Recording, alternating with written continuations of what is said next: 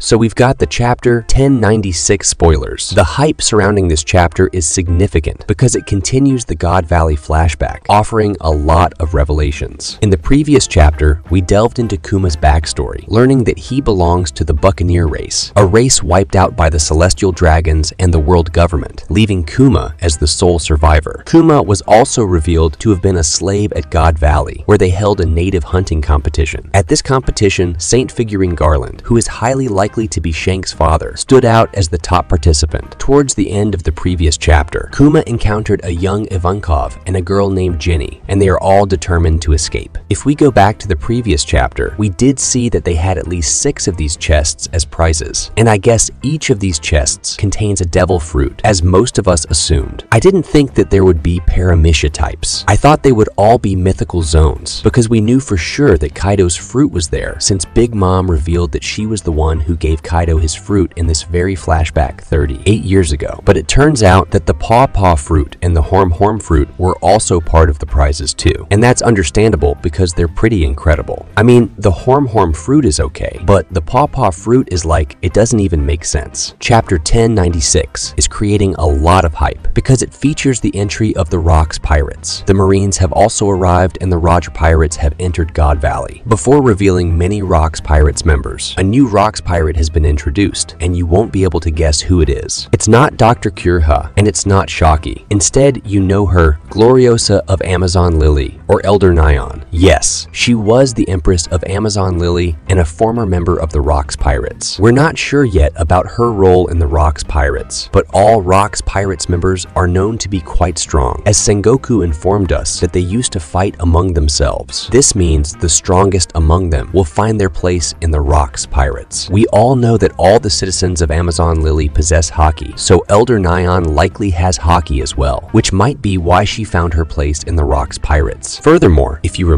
she left Amazon Lily because she contracted the love sickness and fell in love with a man, venturing off to sea. So, the man Gloriosa fell in love with can only be one person, Rocks himself, Moving forward, the title of this chapter is Kumachi, which is essentially based on Kuma. It's possible that Ivankov or the new character we saw in the last chapter, named Jinny, refers to Kuma as Kumachi. In this chapter, we might explore various aspects of Kuma's past. The chapter begins where the last one left off, when Kuma first met Ivankov and Jinny. Perhaps as my assumption goes, Jinny could eventually become Kuma's wife and Bonnie's mother, considering that Bonnie also has pink hair. However, this is just my speculation speculation and could be incorrect. Jinny and Kuma will spend some time together since Kuma, Jinny, and Ivankov were planning to escape from God Valley. Their primary objective was to steal the devil fruit that was stored in a box, consume it, and use its powers to escape God Valley easily. The chapter hasn't revealed how they managed to steal the devil fruit amidst the chaos of the Rocks Pirates battle in God Valley, but we'll likely see this unfold in the chapter. Now, the number of devil fruits they stole here is not confirmed, and whether Jinny also took a devil fruit we might see in the upcoming chapters. But as I mentioned, Kuma had the Paw Paw fruit and Ivankov had Kaido's Fish Fish fruit model Azure Dragon. Now, as the Rocks Pirates members had entered God Valley while they were trying to escape, Big Mom suddenly appears in front of them. She snatches Kaido's devil fruit from Ivankov's hands, the typical Big Mom style of taking things from kid's hand. Upon witnessing this, Kuma quickly consumes his devil fruit and manages to escape from Big Mom. However, Saturn appears in front of Kuma, trying to say something to him, but we'll probably only find out what he was trying to convey when the chapter is released. It seems like he was attempting to stop Kuma. Nevertheless, Kuma somehow escapes the situation. In the end, Kuma, Ivankov, and Jinny successfully flee from God Valley and directly head to the Sorbet Kingdom. How they reached there is not revealed in the leaks, but Kuma might have used his Devil Fruit abilities. However, it's worth noting that he had just consumed his Devil Fruit at that time, so he might not be aware of its powers. So they possibly used a ship or some form of transportation to leave God Valley. Now the Rocks pirates have made their entry into God Valley, so something significant is bound to happen. What exactly that is, we all know, but we'll have to watch it unfold on the screen. It's also intriguing to understand why the Rocks pirates attacked God Valley in the first place. Was it to obtain devil fruits, or was it solely for revenge against the celestial dragons? All these questions will likely be answered in the upcoming chapters. We also see the Roger pirates with Roger having the straw hat with him. That's really cool. Also, the significance of the straw hat still hasn't been explained, which is hilarious. It clearly belonged to Joy Boy at some point, but it's like, why was it significant? What is it made out of? Is it some kind of special straw? I do think that Oda will show us most of them, not all of them